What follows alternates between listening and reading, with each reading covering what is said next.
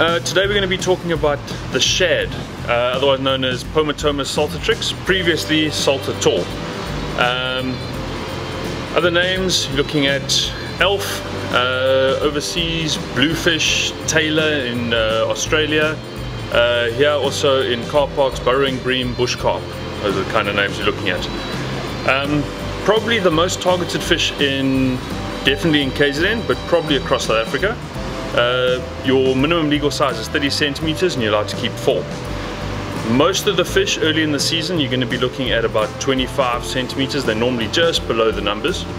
Um, but they do grow to quite substantial size. They grow to about 1.2 meters and uh, that's about 15 kilos in a 10 year old fish. But rarely you're going to catch them more than say four or five kilos. Uh, most of your fish are going to be under a kilo. They migrate from the Cape up into KZN. That's during the winter, so very similar to the sardines, how they move up and then spawn, and then the, the larvae get drifted all the way back down into the Cape, where they grow up again and then move back. Um, there has been scientific evidence that in Langebaan itself, they, they actually spawn and uh, raise themselves up. But we have seen movements from the tagging data of fish moving from Langebaan down in the Cape all the way up to KZN and back again. So they do move quite a far way. Shad are extremely vicious. They eat anything that moves and when they get into a feeding frenzy they will just cut and lacerate any little bait fish in the area. You actually often see in the gullies you'll see little pinkies that have been cut in half just drifting around because they, they're just so rampant when they come to get into that feeding mode. In terms of targeting, uh, my absolute favorite method, short piece of nylon coated wire, number 40 hook and a live pinky. You just hook them through the back, drift it into a gully and yeah, every time is a, is a coconut. Uh, but otherwise you're looking at, if you want to do ground bait traces, you do the normal shad trace, which is a three-way swivel, short piece of line onto a sinker, then you've got another short piece of line, the shad cork, and a short piece of steel with a hook. Now the shad cork is just to keep the bait off the bottom um, also, we normally like using red, some guys like using white. The thought behind using the red cork is that it actually attracts the shad and gets them into the mood. Um, but yeah, as I say, when they're in a feeding frenzy, they'll eat literally anything. Put a piece of tinfoil onto your hook and they'll eat that. Uh, other methods, uh, spoons, extremely effective. Um, shad is not as quick a predator as say a kingy or garrick, so you're using a, a slower spoon, so an S-bend spoon, S for slow, you retrieve it and they flicker nicely like that. Um, with the shad spooning, you just got to figure out what depth they're at, because that's often the difference between actually getting the takes and not.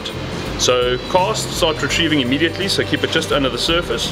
If that doesn't work, cast, let it sink, count for two seconds, then bring it in, and then try again if you haven't got any bites, four seconds, six seconds, and you'll figure out at what depth the shad are feeding. Um, then if you don't want to do ground bait, don't want to do spoons, drift baiting is an extremely effective method. So that's either using a sinker or without a sinker, um, but very light running sinker along the line and then drifting in likely areas. Your shad are going to occur in estuaries to a lesser extent, but mainly along sandy beaches and then in your rocky gullies. So pretty much along the entire coast you will find a place where you can catch shad. They are particularly fond of little back bays. So in the Transkei you often get the little point and then a bay at the back. In that bay itself often cooks with shad. The shad are extremely popular game fish. They are used not just for the eating quality but also to use as live baits. Shark, garrick, cob, all absolutely love a live shad.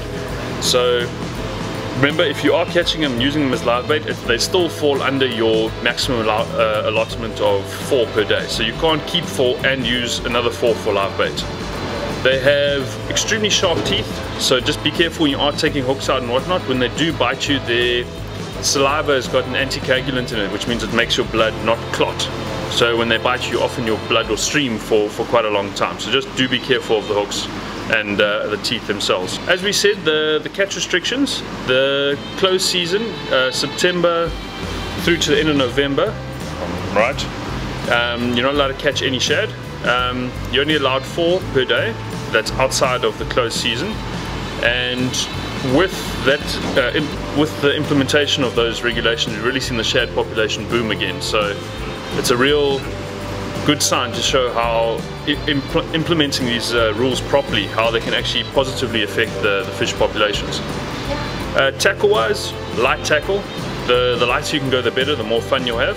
Um, all the way down to fishing fly tackle. You can even use a fly rod with a small little coffee grinder to drift uh, little baits.